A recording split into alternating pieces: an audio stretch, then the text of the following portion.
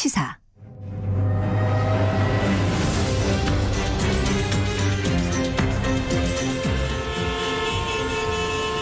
GPS가 연결되었습니다.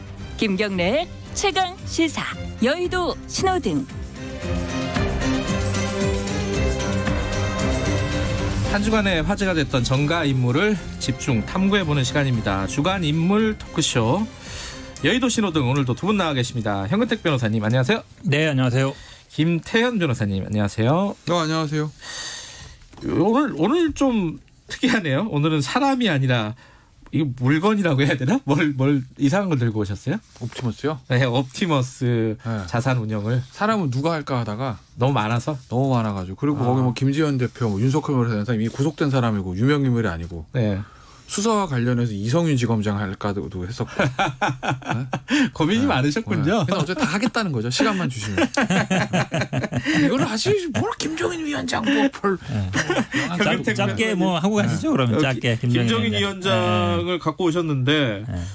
빨간불입니까 파란불입니까 노란불? 당연히 빨간불이죠. 어. 당연히. 네, 네. 당연히 왜 빨간불이에요? 일단은 뭐 처음에 들어올 때도 좀 어려웠는데 네. 처음 어찌 보면 약간 위기인 것 같아요 리더십에. 첫 시험대? 예, 예. 왜냐하면 이게 결국은 김정인 비대위원장이 들어올 때 내년 이제 보궐선거를 갖고 들어온 거잖아요. 네. 그당 처음에는 아마 이제 부산시장만 염두에 뒀다가 이제 서울시장도 음. 나왔는데 결국은 선거의 승패와 본인의 어쨌든 진퇴와도 관련이 돼 있거든요. 거기에는 가장 중요한 거는 또 당 지지율이고 그런데 이제 최근에 당내 보이는 모습 보면은 조금씩 삐그덕거리는 모습이 보여서 음. 약간 위기 아닌가 라고 보고 있습니다. 최근에 구체적으로 무슨 일이 있었죠? 이게 제가 기억나는 거는 뭐 이대로는 비대위 못 이끌어 나간다. 뭐 이런 약간 김종인식 화법 뭐 하나 한번 나왔고 또 어떤 일이 있었죠? 그렇죠. 처음에 아마 조금 당내 얘기 나왔던 건 이제 당명 바꾸고 색깔 바꿀 때 아. 약간 이제 독단적이 아니냐 이렇게 나왔고 처음에 사실은 기억하시겠지만 뭐 기본소득이라든지 뭐 온종일 돌봄 나올 때는 괜찮았어요. 음. 근데 이제 사실 김정인 비대위원장의 트레이드 마크는 경제 민주화거든요. 근데 이제 경제 3법 얘기 나오면서 약간 이제 주영 원내대표라든지 당내 중진들과 약간 이견이 있는 거 아니냐 이게 나오다가 최근에 또 이제 뭐 국회 이제 국정감사 하다 보니까 상임위원장을 이제 18대 0으로 한 게 이제 비대 김정인 비대위원장 선택이다 이러면서 이제 중진들은 어찌 보면 좀 상임위원장도 하고 국감에서 좀 이렇게 조금 뭐라 그럴까요? 증인도 좀 소환하고 조금 뭔가 이제 폼도 잡고 해야 되는데 그게 전혀 안 되고 있잖아요. 그러니까 원외 비대위원장이다 보니까 이 국회의 이 국감이라든지 이런 상황에서 거의 별로 역할이 없는 거 아니냐. 이게 어찌 보면 약간 기시감이 있죠. 예전에 이제 황교안 대표 나경원 원내대표 할 때 그때도 보면 약간 있었거든요. 황교안 음. 대표는 약간 자꾸 밖으로 나가려 그러고 나경원 원내대표는 원내에서 뭔가 해야 된다 이런 음. 입장이고 이런 모습이 저는 결국은 원내 지도부와 아, 원외인 아, 비대위원장의 어떤 그런 약간 언매치한 상황이 결국은 지지율도 별로 오르지도 않고 결국은 지지율이 오르지 않으면 정당이 힘을 갖기 어렵거든요. 물론 이제 강력한 대권 주자가 없다는 것도 문제지만 결국은 지지율이 좀 오를 때는 당내 예를 들어서 뭐 물론 장재현 의원은 계속 뭐라 쓴소리 했지만 다른 분들은 조용히 있었는데 지지율이 조금 떨어지니까 이제 여기저기서 나오는 이제 거예요? 나온 불만들이 나오고 있는 게 아닌가 보고 있습니다. 아니 근데 지지율 떨어지는 게 뭐 김정인 위원장 탓만 있는 건 아니잖아요. 그건 좀 어, 과한 거 아니에요? 혼- 혼자한테 이게 너무 책임을 묻는 거는. 그렇긴 한데 사실은 이제 김정인 비대위원장을 모시고 온 어찌 보면 이제 추대한 거잖아요. 그 가장 큰 이유는 이 총선 지고 이제 사연패 했으니까 좀 네. 살려내라는 거거든요. 살려내라는 건 결국은 대권 후보도 만들어내고 음. 서울시장 후보, 뭐 부산시장 후보 만들어내고 결국은 지지율을 끌려 올려서 집권할 수 있게 만들어 달라. 네. 그거 하나거든요. 근데 그거를 만약 못하면 비대위원장의 존재 가치 자체가 없죠. 김태현 변호사께서는 오늘 왜 이렇게 조용하십니까? 아, 말씀하시고 별로 별로 할 말이 없어요? 말하기도 싫어요. 다, 뭐다 이런 맞는 얘기니까 아, 그런 거지 뭐. 뭐 이런 걸 맞아요.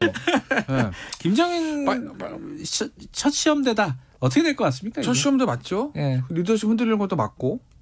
지, 예, 그러니까 지지도 문제가 당 저, 대표냐, 그러니까 지지도가 올라가는 게 당 대표가 잘해서고 뭐 지지도가 떨어지면 당 대표 못해서가 아니라 예. 올라가야 힘이 생겨요 말에. 음. 그러니까 어떤 조직이든지 지도자의 숙명인 거잖아요. 네. 대통령 취임해서 경제 상황 좋아지면 그거 다 대통령 공이고 떨어지면 다 대통령 과입니다. 음. 뭐 원래 그런 거죠 정치란 게. 그러니까 처음에 오- 처음에 김종인 비대위원장 와서 어쨌든 그 누구 때문이든지 몰라도 당 지지도 올라갈 때 말에 힘이 생겼는데 지금 정체되고 그러니까 말에 힘이 안 생기는 거예요. 그러니까 김종인 비대위원장이 조금 이제 말이 톤이 낮아지는 거가 중진들과 충돌을 좀 피하는 걸 어디서 알 수 있냐면 제가 맨날 이 자리에서 그 말씀드렸잖아요. 대선 후보, 서울시장 후보, 당내 후보들에 대해서 계속 비, 저, 안 좋은 소리를 하는 거. 그렇죠. 제가 그 말씀 꼭 왜 그래야만 하냐? 당신이 하시려고 그러세요? 왜 그 많지도 않은 주자들을 그렇게 저 diss를 하시나요라는 말씀을 드렸는데 얼마 전에 김무성 전 대표 이끄는 마포 포럼 가서 이제 강연할 때부터 톤이 좀 바뀌었어요. 음. 보시면 언론 보도를 보시면 와 그래도 우리 당내 정말 너무 좋습니다는 아니지만 어뭐 당내에서 일단 먼저 찾고 이런 얘기들을 합니다. 어, 톤이 좀 낮아진 거가 하나 있는 거고. 근데 지금 서울시 가장 중요한 거는 서울시장 경이랑 부산시장 내는 재보선거거든요. 뭐 김종인 대표 머릿속에 본인이 킹을 하고 싶은지 아니면 킹메이커를 하고 싶은지는 본인이만 알겠으나 최소한 킹메이커로도 하기 위해서 내년에 서울시장 선거 결과 좋아야 됩니다. 그게 좋지 않고서는 킹메이커뿐만 아니라 비대위원장 임기 끝나고 그냥 아웃이에요. 그렇기 때문에 김종인 비대위원장이 지금 굉장히 거기에 지금 저 사활을 걸고 있는 건데 지금 최근에 국민의힘 당내 분위기를 보면 그리 좋지 못하죠. 경선 준비부터 좀 삐그덕거리는 거거든요. 음흠. 거기다가 사무총장 김성동 전 의원이 서울시장 경선 나간다 뭐 이랬다가 사무총장 그만뒀어요. 네. 그러니까 사무총장이라는 건 당 대표가 돼서 제일 처음에 임명한 임명직이 사무총장이에요. 당 조직을 관할해야 되니까. 음. 그러니까 어떻게 보면은 당 대표의 측근이라고 볼 수 있는 거든. 그 전에 뭐 친했다 안 했다 떠나서 최소한 당 대표 할 때는. 그런데 심판해 봐야 되는 사무총장이 그걸 그만두고 서울시장 경선 준비를 하고 있다. 그럼 이 과정에서 김종인 대표의 위원장의 리더십은 흔들 수밖에 없는 거죠 현재로서는. 음. 굉장히 중요한 지적이에요. 사실은 당을 아시는 분들은 당 사무총장이 사실은 선거를 총괄하거든요. 선거 대책 본부장을 맡아요. 실물들을 다 하는 건데 그런 분이 나가서 나가겠다? 그럼 제초에 하지 말았어야 돼요. 음, 하- 음. 네. 근데 재미있는 현상이 제가 최근에 사실은 뭐 국민의힘 쪽에 아시는 분은 많지 않은데 방송에서 가끔 만나는데 얘기 들어보면 다 생각이 있어요. 서울시장, 부산시장. 그리고 김정은 위원장을 다 자기 자기 보고 다 나가라고 했대요. 그런 분들이 되게 많아요. 그러니까 다 제가 보기에는 아마 후보가 굉장히 많아질 것 같은데. 아, 부상은 지금 20명 소리 나오잖아요. 그러니까 서울도 아, 그래요. 서울도 대부분 보니까 뭐 10명도 넘을 것 같아 보니까 다 자기 보고 그러니까 김정인 비대위원장이 이 판을 좀 키우고 싶은 생각이 있는 거예요. 그러니까 다 1대1로 만나, 만나서 다 나가라고 권유를 하는 것 같아요. 뭔가 어찌 보면 굉장히 아, 이거를 서울시장 선거라든지 부산시장 이겨야 되겠다 이런 생각 많은 것 같은데 사실은 약간 과거 방식이에요. 왜냐하면 예전에는 이게 낙점해가지고 너 나가 이러면 이제 되잖아요. 후보가 되는데 지금 그게 아니거든요. 지금 뭐 미스트롯 방식 여론 나오는 거 보면 결국 국민들이 아니면 서울 시민들이나 부산 시민들이 아 이 사람을 우리가 시장으로 좀 해야 되겠다. 이전 어떤 여론이 모여야 되거든요. 그런 거 없이 그냥 당 대표라는 분이 그냥 어, 너 한번 나가면 좋겠다. 이렇게 해서 될 것 같지는 않거든요. 사실은 음. 근데 그런 부분이 조금 약간 과거 방식 아닌가. 그러니까 여의도 자르라는 방식이 여지 보면 어, 조금 위기시기나 아니면 과거에는 통했을지 모르겠는데 지금처럼 약간 대중 정치 아니면 국민들이 이제 오픈된 정치 하는 데서는 좀 안 맞는 게 아닌가 이런 생각도 들어요. 사람이 과거 사람인데 과거 방식도 좀 있겠죠. 아니, 근데 아마 김종 그냥 제 개인 생각이에요. 김종인 비대위원장이 서울시장 대선보다 이제 서울시장이 제일 중요하니까 현재로서는 그러니까 서울시장을 이겨야 국민의 입장에서 대선도 바라볼 수 있는 거거든요, 사실은. 그러니까 제가 말씀드린 저도 굉장히 근소하게 져야지 뭐 크게 지고 이러면 뭐 대선도 그냥 안녕이니까. 서울시장 후보 선택과 관련해서 제 개인 의견이에요. 김종인 비대위원장 이 가장 선호하는 방식은 아마도 2011년 방식일 거예요. 안철수, 박원순, 단일화. 굉장히 극적이었잖아요. 그러니까 네. 당 밖에 있는 유력 시, 후보, 박, 아, 유력 유명 인사 안철수, 박원순이라는 사람들끼리 둘이 합쳐가 둘이 아무도 그 다음에도 시키지 않았는데 박원순 제가 하겠습니다. 안철수 양보. 그 다음에 민주당 내에서 경선해가지고 박영선 등판. 박영선과 준칙 빼고 합니다. 박영선과 박원순의 여론조사 경선. 박원순 굉장히 드라마틱하고 극적이었고 등장 인물들도 다 거물들이었어요. 음. 그러니까 당시에 나경원 사실 나경원 의원 당시에 계속 전도 유망한 음. 저 정치인이었는데 지잖아요. 그게 뭐 당시에 뭐 피부과 의혹 있었지만 피부과 의혹 때문에 적겠어요? 그건 아니거든요. 음. 전체적 판 분위기 자체가 아마 그렇게 확 야당으로 당시 야당 넘어간 거란 말이에요. 아마 김종인 비대위원장 머릿속엔 그런 식으로 해서 붐압을 일으켜야 된다. 지금 어쨌든 서울시장은 박원순 시장의 문제로 보궐선거가 있는 거고 그리고 어쨌든 민주당과 국민의힘 지지도가 차이가 옛날만큼 큰 건 아니고 예. 그리고 지난 총선에서 서울시에서 괴멸하긴 했지만 전체 득표수를 보면 한 7% 정도 차이 나고 예. 그렇다고 보면 후보 과정에서 드라마틱하게 후보를 만들어내면 해볼 수 있다는 생각 하고 있는 거예요. 저도 그 생각에 동의합니다. 다만 문제는 당 밖에 그런 후보들을 찾을 수 있느냐라는 걸까요? 그러니까 사람이 있어야지. 사람이. 그게 문제인 거죠. 그러니까 예. 예를 들어서 지금 뭐 김동연 경제부총리 얘기를 많이 하고 저도 개인적으로 김동연 경제부총리 서울시장 카드 굉장히 좋은 카드 생각을 하는데 안 나온다며요. 그게 이제 문제인 거고 음. 당시에 박원순 변호사는 정치를 하고 싶어하는 열망과 정치 꿈나무적인 것들이 있었어요. 근데 지금 김동연 경제부총리는 본인의 속마음 모르겠어요. 겉은 그건 아니라는 거죠. 그런 한계들이 좀 있다. 알겠습니다. 그러니까 사실은 뭐 구슬이 서말이라도 꽤 보배가 되는 거죠. 후보 없이 뭐 선거를 어떻게 하겠습니까? 저는 아마 김태현 변호사는 이제 부산은 따로 당상이고 서울만 된다 이 생각 같은데 제가 보기에는 부산도 그렇지 않은 것 같아요. 왜냐하면 지금 부산 쪽 그 국민의힘 쪽 얘기 들어보면 이제 현역 불출마 방침을 정하면서 당내 논란이 많아요. 보니까 음. 왜 현역이 안 되냐. 이제 원에 있는 사람들이 하고 있고 그러니까 부산에도 진짜 많은 사람들이 있는데 아마 그 알겠습니다. 논란 정리가 이- 제가 보기엔 좀이 쉽지 얘기 좀 것. 정리하고 옵티머스로 넘어가야 되는데 어, 정리하기 전에 서울시장 후보로 어, 누가 나올 것 같습니까? 저요? 예. 국민의힘 쪽에서. 지금은 경선하는 수밖에 없어요. 그래서 부마 왜냐하면 그러니까 2011년도 좀 차이 2011년에 민주당에는 이해찬 한명숙이랑 강한 힘을 가진 대표들이 있었잖아요. 그리고 기본적으로 야당에 강한 힘을 가진 대표였거나 여당 같은 경우가 청와대가였거나 그러면 누구 하나 밀어가지고 찍어 그런 경선 방식이든 전략 공천이든 찍어가지고 만들어낼 수 있는데 지금 국민의힘에는 그런 힘은 없거든요. 그러니까 외부에서 좋은 사람이 있어도 찍어내릴 수가 없는 구조예요. 그럼 경선해야 되죠.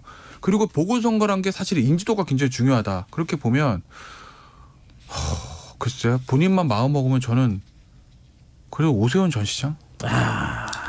본인이 마음 먹으면? 대권 나간다며요. 아 본인이니까 본인이 마음 먹으면. 저 개인적으로 필승 카드는 절대 안 되겠지만 유승민 전 대표. 필승 카드다. 뭐 그게 또 필승이에요. 아니, 뭐 왔다 갔다 해. 한 사람만 얘기해. 현실의 문제인 거가 앞에는. 그러니까 유승민 전 대표 같은 거 절대 안 하겠지만 대구에 있는 왜냐면 굉장히 중도 개혁적인 이미지가 있으니까. 예. 근데 본인이 대선 그러지. 하겠어요? 더불어민주당도 필승 카드 있어요. 이게 사실은 이제 없어, 없어. 박원순 시장의 어떤 그런 문제로 한 거라서 사실은 뭐 당내 여성 후보를 내야 된다는 후보. 사실 있죠. 음. 사실 없는 건 아니고. 근데 아마 장관. 신인 뭐 그런. 특정인보다는 아마 이게 언택트 시대이기 때문에 경선을 하더라도 과거처럼 막 이렇게 붐업하긴 쉽지 않은 상황이지 않은가로 봐요. 아마 기존 정치인들이 될 가능성이 더 많다고 알겠습니다. 봅니다. 라임 옵티머스로 넘어가죠. 시간 많이 줄었네. 아, 아니 뭐 길, 길, 길게 하죠. 뭐 길게. 좋으시겠어요? 이게 라임 옵티머스 중에 라임보다 옵티머스가 심각하다? 김태현 변호사께서 이런 말씀하셨어요? 규모는 라임이 크죠. 그러니까 왜 옵티머스가 더 규모는 근데 네. 사기성이 옵티머스가 더 커요. 제가 봤을 때는. 사기성이 네. 둘다 사기인데 뭐 아니요, 또 다른 게. 있어요? 어. 라임은 어. 라임도 사기인데 네. 하다가 사기인 거고 처음에 좀 아. 하다가 어, 큰일 났네. 어떡하지? 이런 거예요. 쉽게 얘기하면 돌려 막아야 되는데 이런 어. 건데 옵티머스는 그냥 시작부터 사기예요. 원래 얘네들은. 사기로 시작된 거다. 시작부터 음. 애초에 설정부터 운영까지 전부 다 사기 과정이 있기 때문에 예. 그래서 옵티머스가 조금 저는 개인적으로 더 심각하다고 본 거죠. 음. 규모도 규모지만 왜냐하면 처음에 공공기관 매출 채권 투자한다 그랬거든요. 연 5% 그럴 듯하죠. 왜냐하면 지금 퇴직자들 입장에서 보면 주식은 전문가가 아니고 부동산은 돈이 모자르고 대출도 막아놓고 금리 낮고 그럼 뭐해요? 연 5%면 솔깃하죠. 아, 저 그다음에 5% 크죠. 예. 공공기관 매출 채권이 망하겠어요? 공공기관이? 그 투자했는데 알고 봤더니 대부업체에 투자했어요? 시행사에 투자했어요? 그 시행사도 뭐 제대로도 시행될 만한 물건 가진 데도 아니에요. 그 투자된 돈들이 시행사나 대부업, 뭐 대부업체도 잘만 운영하면 돈은 되죠. 네. 금리 얼마 많이 받으니까. 근데 대부업체하고 시행사에 투자한 돈들이 고스란히 빠졌어요. 저수지로. 그래서 자기들이 다 해먹었어요. 시작부터 끝까지 다 사귄 거지.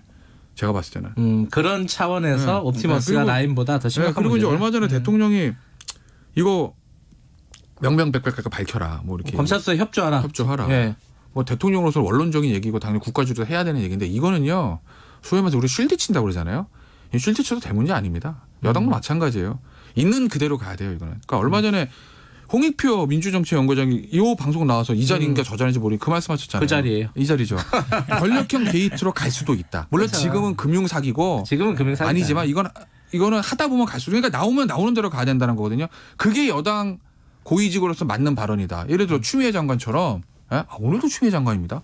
추미애 장관 국정감사 나와서 내가 문건 보고 받았는데 허위입니다. 아니에요. 요거라든지 김태년 원내대표처럼 권력형 게이트 아니다가 단정 지을 문제 아니라는 거예요. 음. 나오면 나온 대로 가야 돼 이거는. 금융사기도 시작합니다. 주범도 다 잡아넣어야 돼요. 금융사기 자체. 그 다음에 거기 뒤를 봐준 금감원. 그 다음에 판매한 어떤 판매사 문제 다 가야 됩니다.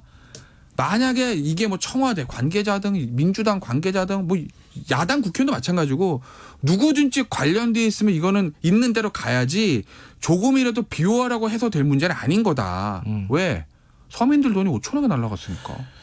저도 뭐 이 정도 저 의견에 동의해요. 왜냐하면 이 아마 투자자들이 한 2, 3천 명 되고요. 지금 피해액이 아마 그때 펀드로 모은 돈이 일주 2천억 정도 되는데 환매 중단된 게 5천억 정도 되잖아요. 그러니까 이게 조국 전 장관 때 이 사모펀드는 사실은 조국 전 장관이나 부인이나 다 교수예요. 이분들이 제가 뭐 교수분들을 무시하는 게 아니라 이런 분들이 막 배후에서 조정해가지고 막 사모펀드를 굴리고 운영하고 막 투자하고 이거는 어찌 보면 아, 소설일 가능성이 많아요. 그분들이 막 경제를 이렇게 잘 알건 아닌데. 근데 이거는 사실 실체가 있는 거잖아요. 음. 규모도 있고 그리고 피해자들이 많아요. 그리고 지금 나오는 얘기들이 어찌 보면 지금 얘기처럼 뭐 청와대 행정관이라든지 또 아니 지금 구속된 분들이 어찌 보면 뭐 저도 이거는 철저하게 수사하는 수밖에 없다라고 봐요. 근데 네. 이제 사실 지금 김태현 변호사께서 말씀하신 이 부분에 대해서는 뭐 현근택 변호사 말씀처럼 다들 동의하는 부분일 거예요. 근데 이제 정치적인 쟁점은 지금 이걸 권력형 게이트로 규정을 해가지고 어 정쟁화하는 게 맞느냐. 음.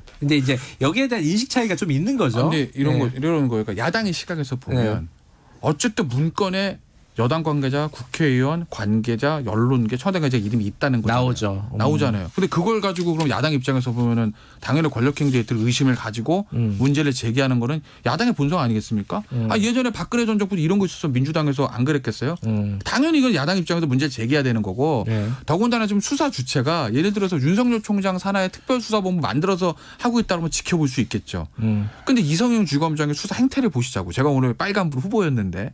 그러니까 비단 뭐 이성윤 지검장이 대통령의 뭐 대학 후배고 뭐 추미애 장관과 가깝고 이제까지 여당 수- 야당 시각에서는 네. 여당 수사를 뭉개고 이런 걸 떠나서 옵티머스 자체만 보고 판단을 하시자고요. 음. 옵티머스 자체만 보고 판단했을 때 여당 지금 검찰의 어떤 수사 지휘부의 어떤 수사 의지를 의심하지 않을 수 있겠어요? 야당 입장에서 보면 음. 그렇잖아요. 자 권력형 게이- 게이트 시간 없, 왜 그런지 다 설명해 드릴까 시간 없죠. 아니 여기까지만 하세요. 어, 그러니까. 어. 네. 짧게 짧게. 자 현, 현근택 변호사님.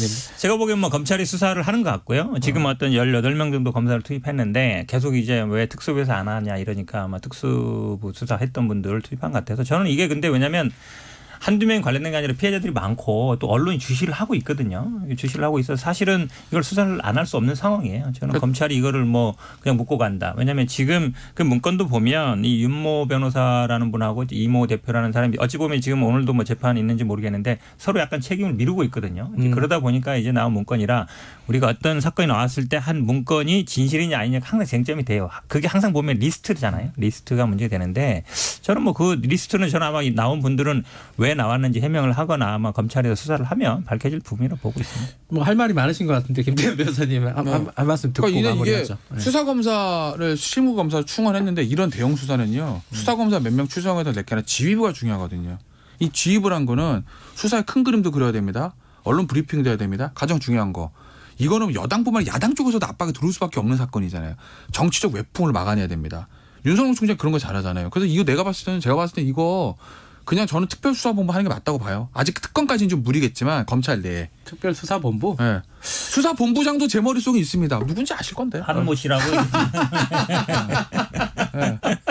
아주 잘할 수 있는 사람이 있죠. 아, 네. 그거 안될 거예요 아마. 진천에 가 있는 한모 씨. 특별수사본부 이거는 계속 야당에서 얘기를 하는 부분인데. 이 정도는 저는 민주당도 받아도 근데 된다고 그러니까 보는데. 하- 그거 만약 철저하게 수사를 해야 된다 그러면 그렇게 포장을 할 수도 있는 거 아닌가요? 설계를? 결국은 특별수사본부 함- 얘기하면은 네. 이제 다 지휘 빼고 검찰총장의 지휘만 받아라 그렇죠. 이렇게 갈수 네. 있어요. 근데 지금 윤석열 총장이 과연 또 어찌 보면 중립적으로 할 수 있느냐.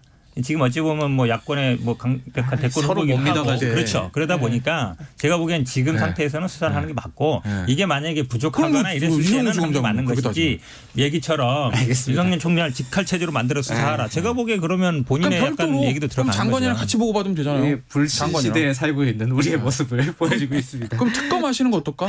특검도 제가 머릿속에 짜놨는데. 근데 근데 여기까지 듣겠습니다. 고맙습니다. 예, 고맙습니다. 고맙습니다. 예의도 신호등 김태현 변호사, 형은택 변호사였습니다. 지금 시각은 8시 50분입니다.